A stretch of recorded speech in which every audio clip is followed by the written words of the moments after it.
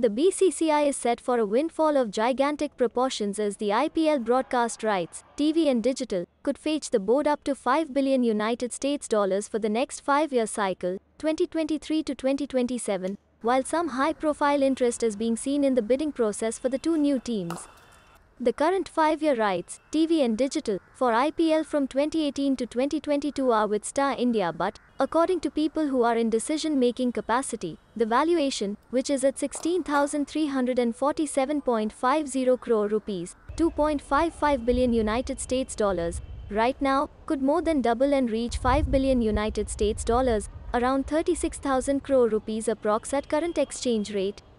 any foreign company showing interest in buying IPL properties needs to have an Indian wing. The last time around, there were only two major players in TV and digital media rights market with Star India outbidding Sony, who held the rights from 2008 to 2017. Star had bid nearly 5,300 crore rupees more as Sony's final composite bid was 11,050 crore rupees, 1.47 billion United States dollars.